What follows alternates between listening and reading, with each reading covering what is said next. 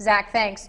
All new at 6, Wheeling City Council has approved emergency funding to make repairs to the Washington Avenue Bridge.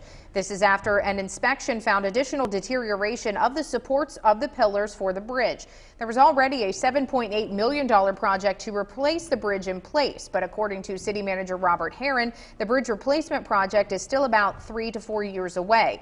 In the meantime, Herron says a contractor has been hired to make the necessary repairs so that the bridge can remain open while work is being done on the supports.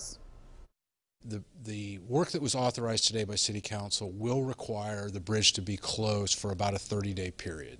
Uh, now that you know certainly uh, beats the alternative of uh, several years, uh, but there will be a time where it will have to be closed while the repairs are being made. facilitating a says there is no set date for the closure, but says the bridge poses no threat to drivers.